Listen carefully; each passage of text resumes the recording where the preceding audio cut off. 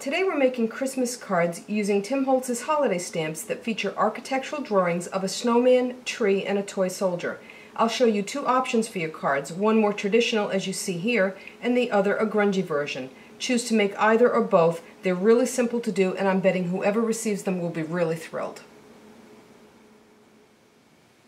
Regardless of which image you decide to use as the focal image on your card, I have the toy soldier here and of course we have a snowman and a tree. Each of them starts out the same way, and that's by adding a border of half-inch score tape all the way around the front of your card and then glittering it, and it's very easy to do. I'm going to start by opening this card, and if you don't square this end off, what happens is, is when you butt the ends to the previous piece of score tape, you're liable to end up with a gap, which means you'll see the card through the glitter and or where the glitter actually isn't. So you want to do this fairly carefully. What I'm going to do is put this first piece on and I'm going to line it with the fold in the card. Line it up rather with the fold in the card. I'm going to press it in place so I've got good adhesion. Then I'm going to turn it over and I'm going to cut this end. Now this will be the beginning of the next piece and so what I'm going to do is use my card as a guide so that I cut it square and that way the next time it butts up against a previous piece it's going to do that nice and cleanly. So you're going to do that all the way around the perimeter of the card, and again, because I cut this neatly with the edge of the card as my guide, it's going to butt tightly right against the previous piece. I'm going to put this in place. Now I'm working on one of the Ranger's non-stick craft sheets, so even if this sticks, it comes right off without any difficulty and without any damage. Again, I'm going to use my card edge to guide my cut. Come in and do this one as well.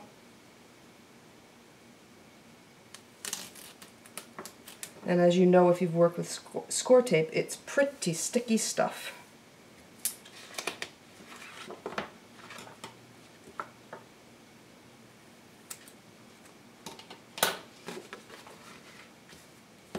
Now this last piece is a little bit more of a challenge simply because we're not going to run it off the edge of a card, or off the edge of the card rather, we're actually going to butt it up against the previous piece that was there. Now the score tape, because you have left the backing tape on, it won't stick to itself, to that previous piece of backing tape. So what I generally try to do is put a fold in the tape right where it would join to that previous piece. kind of kind of crease it with my fingertips, and then I'll just get rid of this end and then I can cut it. And sometimes it takes, I'm going to see if I can pull this back just a tiny bit. Sometimes it takes more than one cut to get this straight, but most of the time it works pretty well. Now in this case I have a little bit of an overlap, and that's actually better than a gap. So what I'll do is, is I'm going to make sure that my score tape is burnished onto this card, and I'll peel this first piece off, and then I can let this overlap that first piece and the, a little tiny bit of an overlap is far better than a gap. Then it's just a question of peeling the backing tape off around the perimeter of the card. She said, peeling the backing paper off the perimeter of the card. There we go. And then bringing in a piece of scrap paper and glitter and I'm going to just drop glitter all over the edge of this. a little piece of something in there. I'm going to rub it around with my finger to make certain that I have good adhesion. And of course this piece of scrap paper will catch all of this excess glitter and I can just dump it right back in the container. Oftentimes what I'll do is, is take this outside. Once I've removed the most of the excess glitter, I'll take this outside and give it a good couple of flicks with my finger and let all of the excess glitter just drop away. So here's our piece, and next up what we're going to do is talk about the front piece of the card that you're going to stamp, oops, you're going to stamp your piece on. Um, this is 90 pound watercolor paper, and I'm going to show you a couple of different ways to cut it. I started out more than 30 years ago as a quilter and use many of the same techniques now as I did then. And when it comes to cutting, whether I'm cutting paper or fabric, for me it's typically done with a rotary cutter, a mat, and a ruler. When we look at the piece of paper that we're going to stamp our main image on, it's 90 pound watercolor paper and I cut it always with that rotary cutter, mat, and ruler. because the card measures 5 by 7 and because we've put that half inch of glitter all the way around, this piece is cut to 4.5 by 6.5, which will expose some of that glitter border. Whether you cut straight edges like I have here, or if you want to use, and this is a specialty blade that Olfa makes, and this is a scallop, and you can see this edge here is going to cut those scallops. Whether you cut the scallops, you're only going to get two four and a half by six and a half inch pieces from a piece of watercolor paper that measures 9 by 12. I have a piece that I've already started. And what I'm going to do, the first thing you have to do is you have to start by putting your scallop edge on two edges here so you take off that straight edge. And then it's just a question of coming in and measuring. And what I'm going to do is measure six inches which means I'm going to put my ruler and I'm going to align it right with the very top of those bumps. I'm going to hold it in place.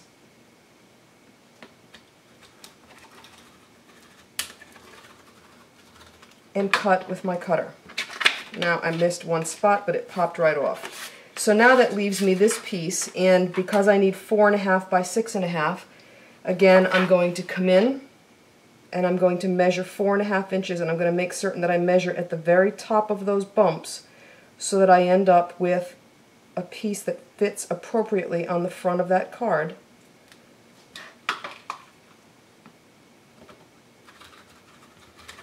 Now of course you can do whatever works best for you and let me get this mat out of the way because we don't need that any longer.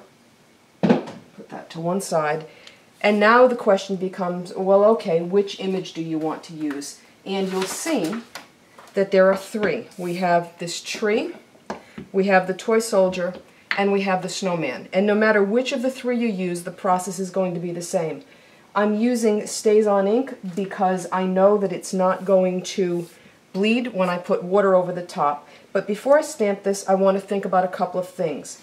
The cards have sentiments stamped on the front. Whoops, help if it was right side up. And whether you want to put your sentiment along the side, along the bottom, or if you, if I can find one, if you want to put it along the top, you have to stamp your image in a place that allows you to do that. Now you can also choose to center your image on this piece and not stamp anything at all in terms of a sentiment on here. And so I think this one, I'll do this tree, I'll get my StazOn ink. I'm just going to ink this up.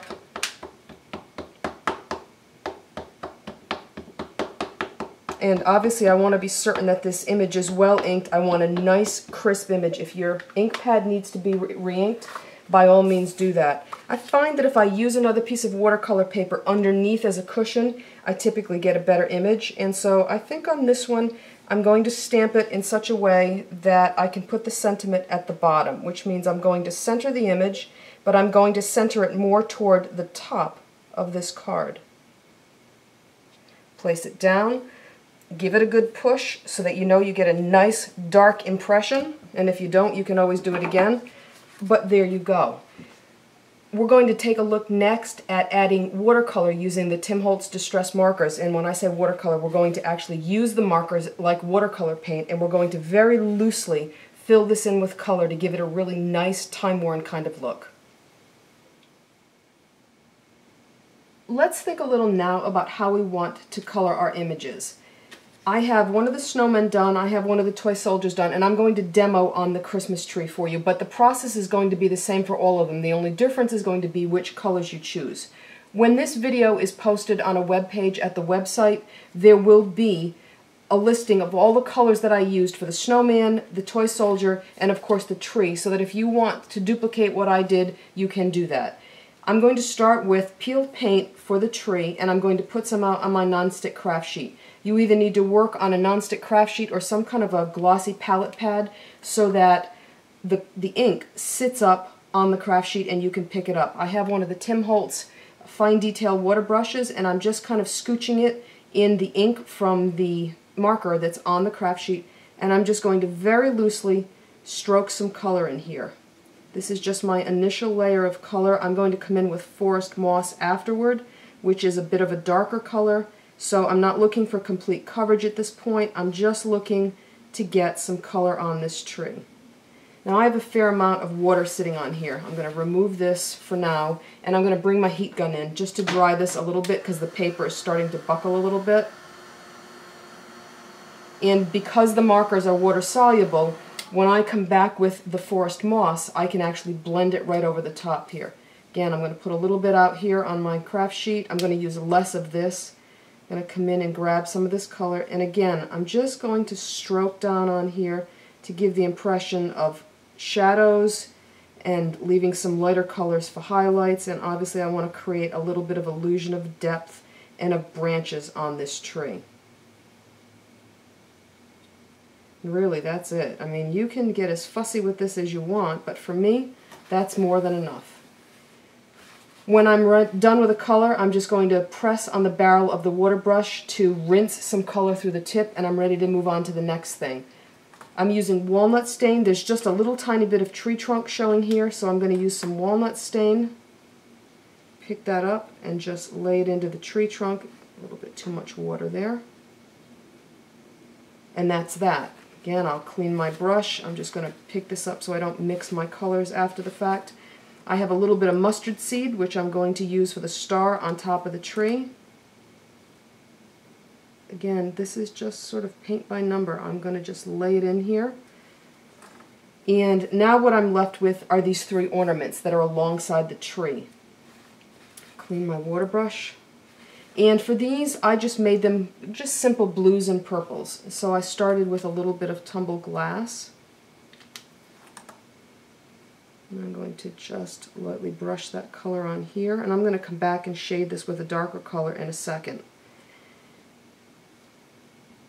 I'm going to just put a little bit here. And this one, clean my brush. Again, this is just very simple very straightforward. There's nothing fancy going on here, but it's very, very effective. Okay, this is Stormy Sky and what I'm going to use to shade this first ball at the bottom. And I'm just going to brush, whoops, I'd help if I stayed within the shape. Just going to brush a little bit of color on here just to give that illusion that I have a round object. Again, I'm going to grab another color. Whoops, wrong end. I'm back to the peeled paint again. I want to put a center stripe up here on this ornament. And then I'm going to grab some Dusty Concord and put a little bit out on my craft sheet. And that's going to be the center of this ornament. And then it'll just be the top and bottom here. And of course you can use whatever colors you want. It really, it's up to you. Do whatever it is that makes you happy. You know we all have our color families that we like and you should use what you enjoy. Before I call this done, what I want to do, because I'm the glitter queen, I admit to it, that's my confession for today. I love glitter, I can't help it. I'm going to just take the heat gun and I'm going to make certain that this is dry, and then I'm going to just pick a few places to put a little bit of glitter on. Straighten this out. I have Sakura's Quick, Quickie glue pen and I'm just going to come in and put some strokes on one side of the tree just again to create the little bit of illusion of snow and then I might put a little bit here on the ornaments and then maybe just a few dots here. Bring my scratch paper back in and now I'm just going to dump a little bit of glitter on here and scooch it around so that it can cling to where the glue pen was. And the nice thing about the glue pen, hold on, I'm going to take this off to the side and give it a good flick. The nice thing about the glue pen is that it allows you to be fairly fine with how you place the glitter. Again, there's just some lines on the side of the tree here. Now if I wanted to, I could come in with the glue pen and I could actually simulate a little bit of snow underneath the edge of the tree if I wanted to. Again, as far as I'm concerned, more glitter is better than a little bit. Just bring the glitter back in, put a little on here, scooch it around. Again, I'll give it a good flick, and there we go. The process is the same. You're just going to choose your own colors to do the toy soldier and the snowman, and then we're going to move on to thinking about sentiments both outside the card and inside. This card is almost finished and it's starting to really shape up. I have two sets of Christmas sentiments, both by Hero Arts, and I will post information about what these are on the website where the video is and all the supply information. These are photopolymer stamps, and as I've used them, I've discovered that they seem to be happiest that when you're done stamping with them, that you clean them before you put them, put them away. I use StazOn, you know that it's one of my favorite inks, and I took some out to use them today that I had put away without cleaning beforehand, and I didn't get really great impressions, and they were kind of sticking to the card surface. So I cleaned them up, and they're far better now, so just bear that in mind. What I'm going to do is I want to stamp a sentiment on the bottom here, and then we're going to work on the inside of the card. And I'm going to turn this to face me so that I'm working right side up for me. Now this particular one says, Good Tidings this Christmas. So it's aligned. What I did was I put it on this, um, this mounting block, and this one happens to have lines in it, which allows me to line the bottom of this image up so that when I apply it to this, the front of this card or even wherever I'm doing it, it's going to go on there straight. So what I'm going to do is I'm going to ink this up, but before I stamp it on the front of this card or on this piece of watercolor paper that will be on the front of the card, I'm always going to test it first. If something has gone funky with the stamp since the last time I used it, I don't want to find that out when I ruin what I just spent some time watercoloring. Okay, that looks good. So what I'm going to do now is ink this again. And I will tell you that occasionally I don't get a perfect stamp, but I'm not going to toss this. What I'm going to do is come in with a Pitt pen and just clean it up. It works just fine. Alright, so I'm inked. And now I'm going to center this in the space that I've allotted for it on the card. Oops, and you know what? I do want to put something underneath just to cushion it a little bit because as I said earlier, I find that I get better impressions that way.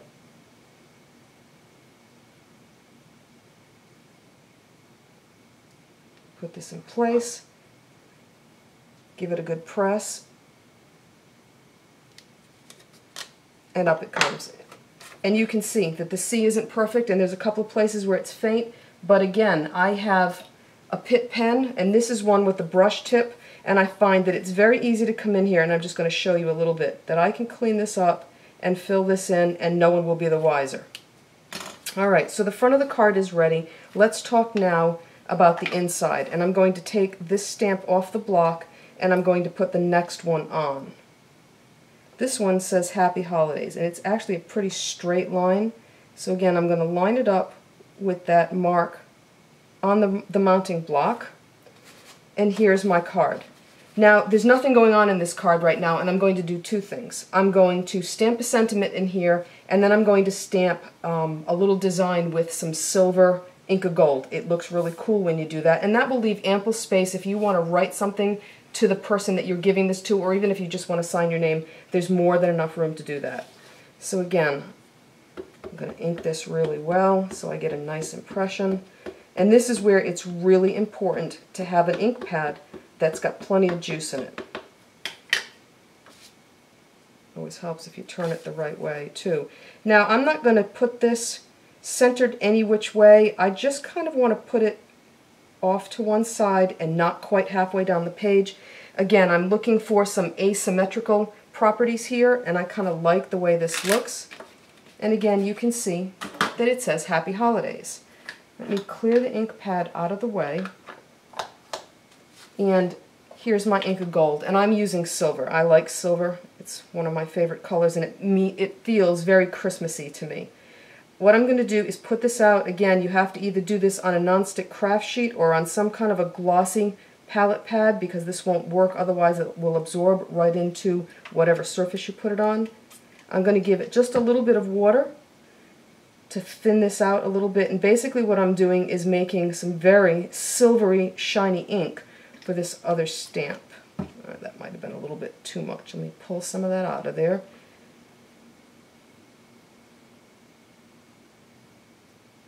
Alright, that looks reasonably good.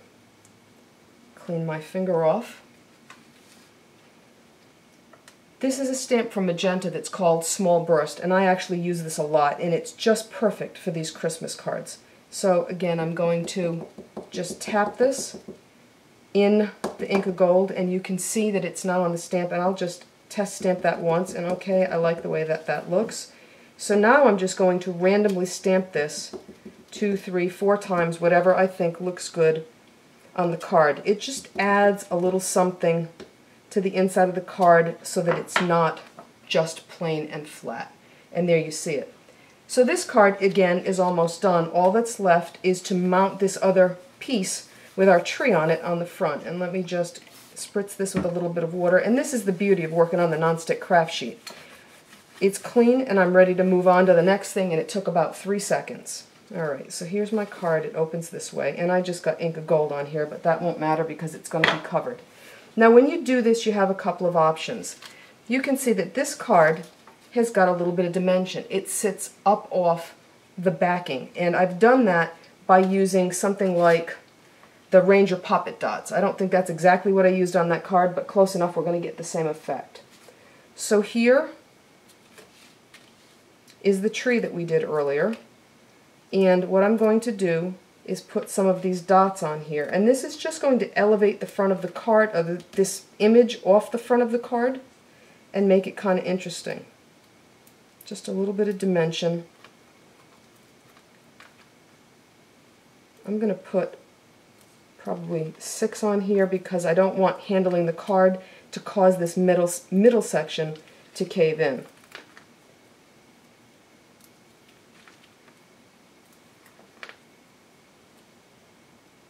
And I might just put one in the very center just to kind of support that center. Alright, they're all in place. So now I'm going to peel the backing off of the poppets.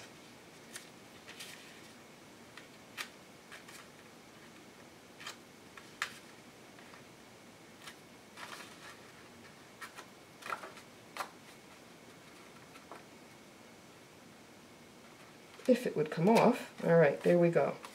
Alright, so here's my image facing me right side up. The card opens this way. All I'm going to do is just visually center this piece of paper on this card. I'm not going to measure. I don't need it to be perfect. These are handmade cards. They're not made by machine. And there's our finished card. Now, if you want your card, excuse me, if you want your image to lay flat on the front of your card, all you need to do, and here's another one that I did earlier, this happens to be the snowman. I've taken quarter inch score tape and I've run four stripes of it down the back of the card Again, my card opens this way. And now I'm going to peel the protective backing off of the score tape.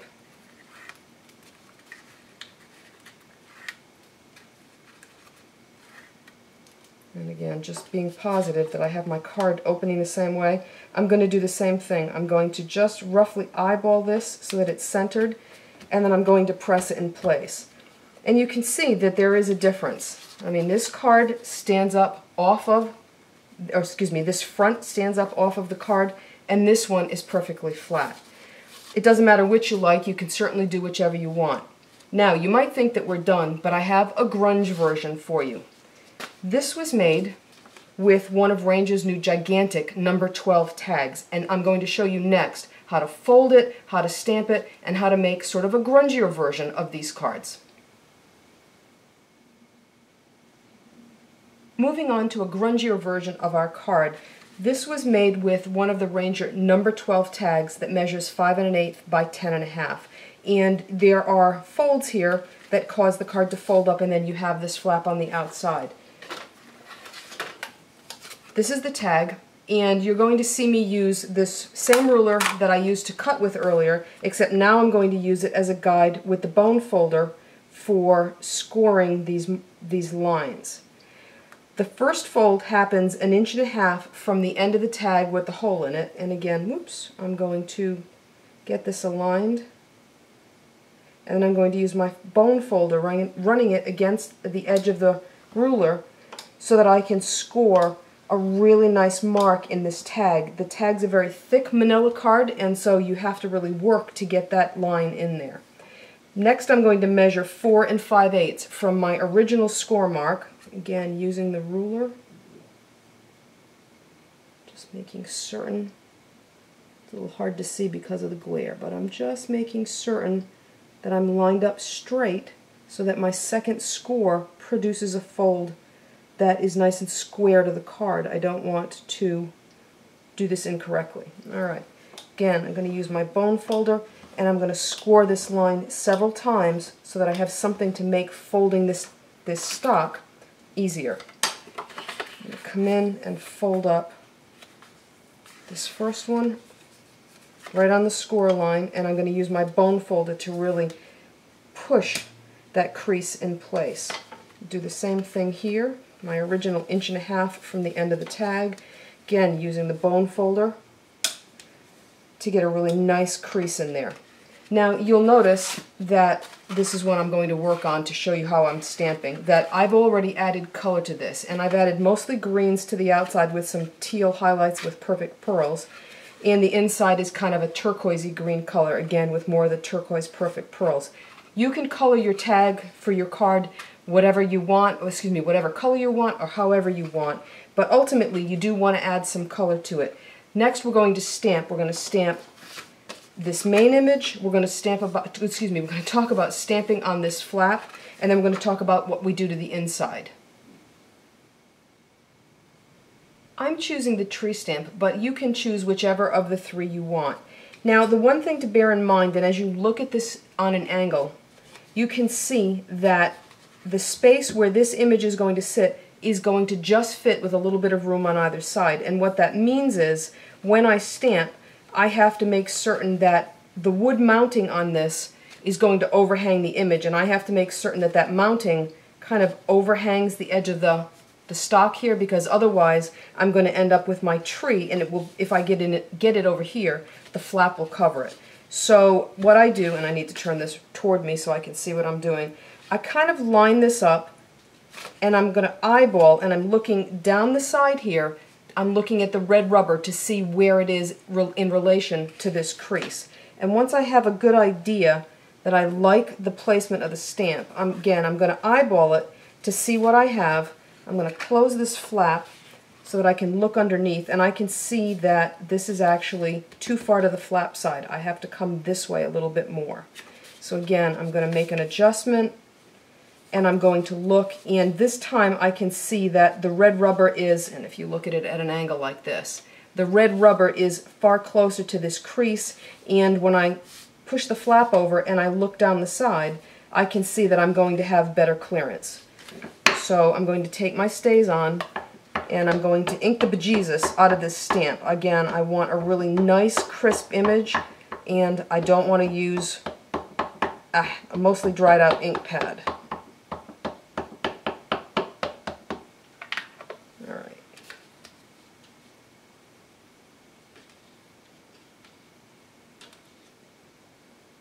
Again, I'm kind of eyeballing this. I know where I need to be.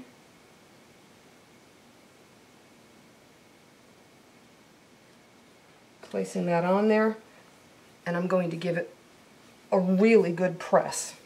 I want to be certain that I get my image stamped on here well.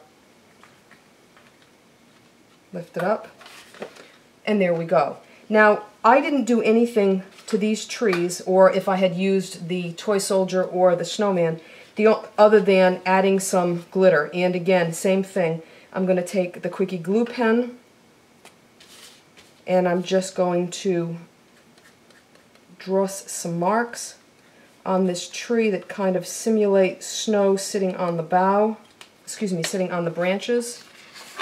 bring this in here, grab my glitter. I'm going to sprinkle a little on. Let's get this out of here. And now you can see that I have some glitter on my tree. What that leaves now is to stamp a sentiment on this flap. The first one I made, I used Season's Greetings, and again, it's from one of those two Hero Art sets. And the thickness, or the height, if you will, of this image meant that I had to stamp it over the reinforcement. And you can do that, but you have to pay really close attention that you apply enough pressure here. As I recall, I think I missed just a smidge. Again, a Pitt pen cures many evils. So, I have another image, and again, I've mounted it on my block. This one is not going to take as much space as the Season's Greetings did, so I'm not even going to have to worry about stamping over the whole reinforcement. I'm going to line this up so that I'm satisfied with its placement both side to side and top to bottom. Put it in place and give it a really good press. And there you see, it says Merry Christmas to you. The final step is to work on the inside and on my original one I did oops did a couple of different things. I used that magenta small burst, the one that we used on the inside of the cards, the original set of cards we looked at, and this time I stamped it with a color that kind of matched. So for this time I have some archival in a teal color that I like, and I'm going to turn this toward me, bearing in mind what I'm doing here with the other sentiments. And I'm just going to stamp this kind of randomly.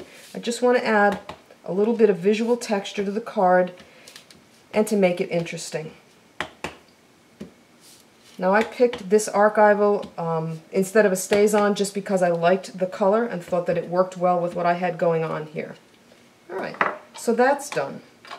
The last thing we're going to do, again, is we're going to stamp a sentiment on the inside of this card. And this time, rather than use a single one, I took two pieces from one of those Hero Arts sets, and what I've done is line them up on the tag, excuse me, line them up on this block so that I can stamp them one time to get my Merry Christmas, Happy New Year. And what I did was I laid the the pieces of stamps themselves on the front of the card till I kind of knew where I wanted them to be. And then I turned this over, put it on top, and I got them in place. And in this case, I'm going to stamp this just slightly to the top, if you will. If I were to look, look at the center of this card, I want it offset just a little bit up here, which leaves room for writing down here if you want to do that. Again, my StazOn. I want to make certain that I ink this really well because of course you only get one chance to stamp this. You know, I mean I did say before, and it's true, that you can certainly correct some things with a Pitt pen, but the less you have to correct, obviously, the happier you'll be because there's no messing around and you just get it on the first go-around. Okay, so this is my card like this, which means I need to turn this this way. And I would suggest that you stamp this once just to be certain. The first time I did this, when I placed the stamps on the block, I didn't notice, but I had Happy New Year turned upside down. I was much happier to find that on my test stamp than I would have been to find it when I'd stamped it in the card. Again, bearing in mind that I want to be a little bit to the top of center to line some to allow some room at the bottom for handwriting in there if I choose. And I'm going to really press down on this block on both edges. I want to be certain that I get a really good impression with both of these stamps.